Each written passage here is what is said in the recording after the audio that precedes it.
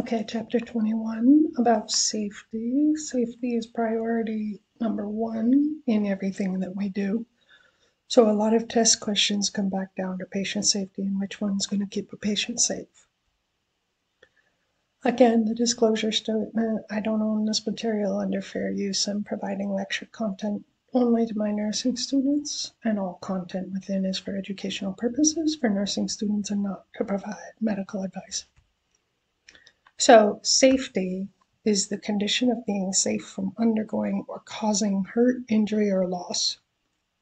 It's a basic human need, and the nurse attends to the safety needs of clients in healthcare settings, healthcare workers, including themselves. So always remember when you go into your BLS course that they said stop, check the scene, make sure it's safe to enter first. That's your first priority. You don't want to be going into a puddle of water with a down power line because now there's two patients and you're useful to nobody. So remember that. At all costs, you have to protect yourself first.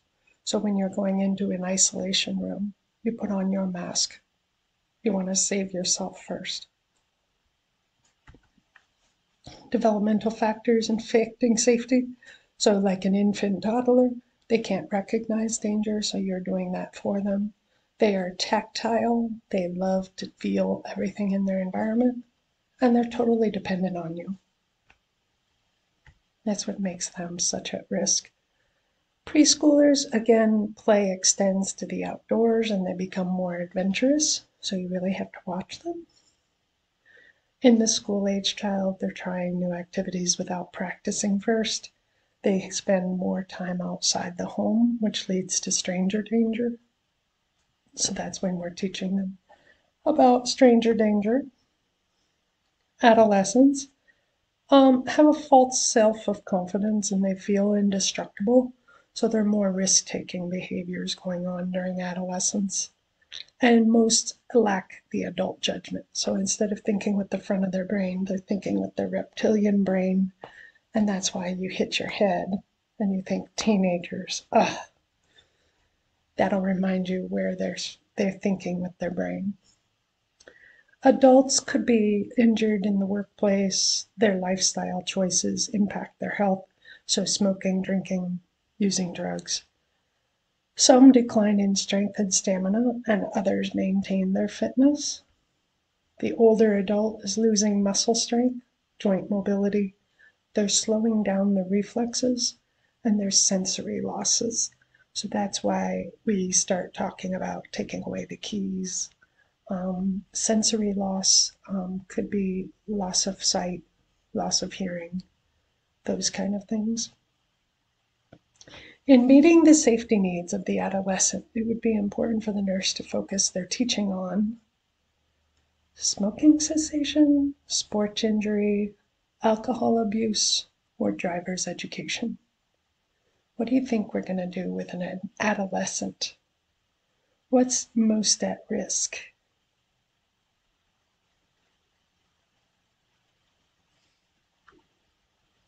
What would they be trying out? So, adolescents should be. So, alcohol abuse, an adolescent isn't 21. So just keep that in your mind. When you answer some of these kind of questions, you have to think what they're supposed to be doing, not what they might be doing. So it's driver's ed. Adolescence is the time where motor vehicle accidents are the highest. Individual factors that affect safety might be their lifestyle, their cognition, their sensory-perceptual status, ability to communicate, mobility status, physical and emotional health, and safety awareness. Safety hazards in the home. So, when we're talking about home, we're thinking big places like underneath the cabinets where the chemicals are, lead paint, medicines, cosmetics, so the prevention always around this stuff is cabinet locks, store poisons high, keep the poison control number available. And depending on the type of poison um, ingested, having antidotes, charcoal, and so forth available. Most of the time, the answer is going to be get them to the ER right away. I will tell you that, what's it called? Ipecac syrup is never the answer. Ipecac syrup, do not do it. Most of the time, it's a chemical that shouldn't be coming back up. So if you give them the Ipecac syrup, it'll make them throw up. If at anything, you should probably give them charcoal because that's going to bind the substance in their stomach. At the end of the day, number one is call poison control. So, safety hazard in the home, also thinking carbon monoxide poisoning. So, a lot of the test questions might be around gas, wood, oil, or kerosene burning fuels. And the prevention would be a carbon monoxide detector. And you treat any carbon monoxide poisoning with 100% humidified oxygen. So even if their oxygen set is 93, if the test question says anything about oxyhemoglobin level, oxycarby oxyhemoglobin level, one oxygen, one carbon is carbon monoxide. So always be thinking 100% humidified oxygen in those test question scenarios. Scalds and burns, again, hot water, grease, sunburn, cigarettes, it could be any of these. The prevention is guardrails by fireplaces, turning in pot handles, especially around kids, care with candles so they don't cause a fire, and sunscreen. Care when warming food in the microwave. You've got to know these because they love to ask sunscreen questions on the test. And the sunscreen questions usually come down to the number of SPF, a minimum of 15.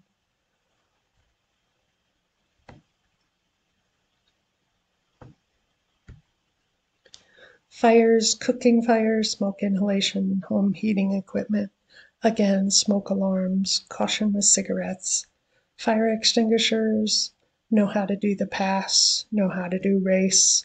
So if you need to look those up, please do. Um, they're always on the test. No candles being left unattended, safety with holiday lights, and care with electrical cords. All kinds of test questions on that. Falls, um, over 65, we're really worried about falls, so we do a lot around slippery floors, stairs, tubs, a low toilet seat, and a high bed. So just things to think about. Prevention non-skid shoes, tidy clothes, proper lighting, grab bars, rails, and no scatter rugs. I love to call them trip rugs so that you remember that. So no trip rugs in the area. The other thing is to also remember that lighting that's really, really uh, high lighting in an area where someone doesn't have good eyesight can actually look like wet water on the floor. So it's not usually bright lights, it's dim lights.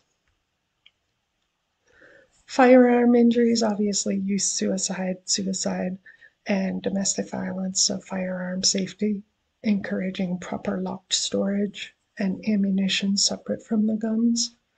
So we hear about these almost every day. Um, inadvertently, the child gets a hold of the gun and it's loaded. Suffocation, asphyxiation, um, the drowning, choking, smoke, gas inhalation. Most kids that are at risk are zero to four because if you think about it, smoke is going to go to the floor fire is going to go to the ceiling. So they are more at risk. Watch for small removable parts on things that they could choke on. Cut food into tiny pieces. We'll come back to this in pediatrics. Pay attention to mobiles, strings, cords, and plastic bags for suffocation risk. Apply a barrier to a pool, which means a fence, and know how to do the Heimlich maneuver. Take home toxins, so things at home like microorganisms from work, we take them home. Asbestos, lead, mercury, arsenic. Be aware of workplace preventative measures. remove your work clothing out in the garage, shower if appropriate, and use gloves. So, a clicker check. A child has had hiccups for two hours. This is a suspected ingestion of poisoning. Hiccups do not occur with poisoning. Hiccups would not be a poisoning issue. Motor vehicle injuries. So that has to do with um, using seatbelts, use of alcohol, pedestrian accidents, and non deployment of an airbag. Avoid distractions like cell phone, text messages, and loud music in the car. Use a designated driver if you're going to drink. Use seatbelts and proper age dependent restraints for children. So backwards till two. Safe hazards in the community. Foodborne pathogens, vector-borne pathogens. So when we talk about this, it's food poisoning. So the proper storage, cleaning, and cooking of foods, cleaning, cook, clean cooking surfaces, and attention to folk remedies. Drain all standing water, use insect repellents, protect skin contact with insects, and wipe out breeding areas. So, standing water. Pollution, air, water, noise, soil, proper disposal of solid waste like paint, car batteries, buy only environmentally safe products, carpool, use public transport, or use hearing protection. Weather hazards, be aware of weather events, develop a disaster plan, and identify a place to take shelter. Safety hazards in healthcare facility are never events. They should never have happened. When they do, we do a root cause analysis to find out what's going wrong and we are a um, culture of safety for sure. Safety hazards in a healthcare facility number one falls, alarm fatigue, getting sick of those nuisance alarms, equipment related accidents, fire, electrical restraints, and mercury poisoning. So, mercury poisoning used to come from thermometers. Now, our thermometers aren't mercury related. Another clicker check.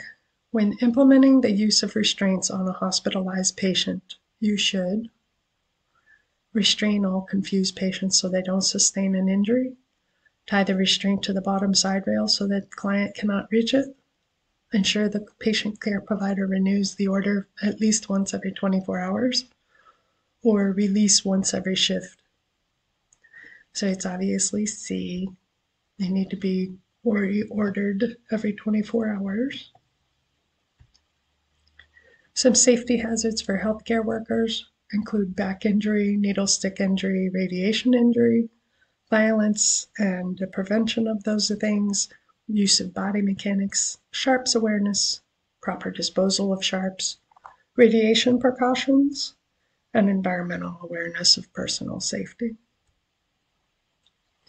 So, how would you, as a Nurse, support the culture of safety. Select all that apply. Complete incident reports when appropriate. Yes. Complete incident reports for a near miss. Yes. Communicate product concerns to an immediate supervisor. Yes. Identify the person responsible for an incident. Eh, not necessarily. It's not as important to identify the person responsible as for why Okay. Socratic reasoning. Um, so, do you think teamwork and collaboration is an important um, in assuring the culture of safety? Absolutely. Assessment. We're always assessing the client's home, their environment, their risk for safety, their risk for violence. And you can see examples in the nursing diagnosis, such as use of the diagnosis at risk for injury. The outcomes um, depend on the nursing diagnosis. And the interventions assessing, educating, evaluating, removing hazards using technology, establishing goals, reporting accidents, and considering the patients as a member of the healthcare team. Home safety interventions that we provide, preventing poison, education around carbon monoxide poisoning, home fires, scalds, burns, falls, firearm injuries, and preventing suffocation. How to perform choking rescue, how to perform um, life sustaining measures when someone's drowning, and take home toxins. Teaching for safety self care, motor vehicle safety, food safety, for fighting vector borne illnesses, reducing palm pollution, um, weather hazard safety measures. Preventing falls, reducing electrical hazards, responding to fires, preventing the need for restraints, responding to mercury spills or chemotherapy spills, keeping your equipment safe, reducing alarm fatigue, coping with violence. And then in delegation, we always want to be sure that we're not delegating things that they can't do around restraints. Make sure that you're not delegating things that you must do. And we'll talk more about delegation in a little bit.